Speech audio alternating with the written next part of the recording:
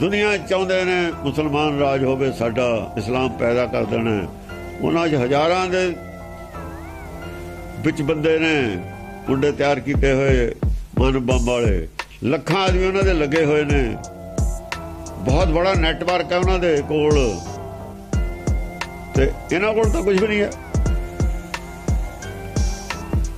ਉਹ ਇਸਲਾਮ ਪੈਦਾ ਕਰਨਾ ਚਾਹੁੰਦੇ ਨੇ ਦੁਨੀਆ ਦੇ ਵਿੱਚ।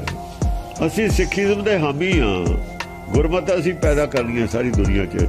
ਟੱਕਰ ਤਾਂ ਸਾਡੀ ਫਿਰ ਉਹਨਾਂ ਨਾਲ ਹੋਣੀ ਹੈ, ਆਖਰ ਦੇ ਵਿੱਚ। ਅੱਜ ਉਹਨਾਂ, ਉਹ ਮਾਸੀ ਦੇ ਮੁੰਡੇ ਕਿਉਂ ਲੱਗਦੇ ਨੇ ਇਹਨਾਂ ਨੂੰ?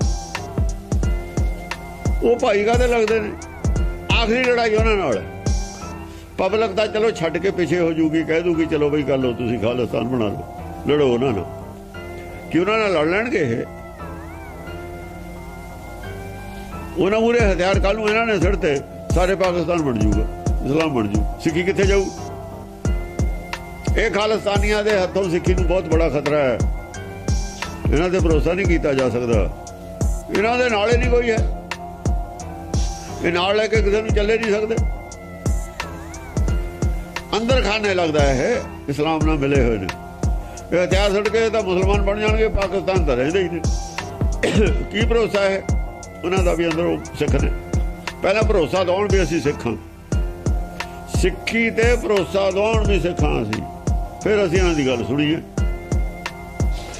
ਦੋ ਚਾਰ ਸਿੱਖੇ ਸਾਨੂੰ ਦੱਸ ਦੇਣ ਵੀ ਆਏ ਸਿੱਖ ਨੇ ਟੈਸਟ ਕਰ ਲੈਣੇ ਅਸੀਂ। ਇੱਕ ਅੱਧਾ ਖਾਲਸਾ ਹੀ ਦੱਸ ਦੇਣ ਵੀ ਸਾਡੇ ਕੋਲ ਹੈਗਾ।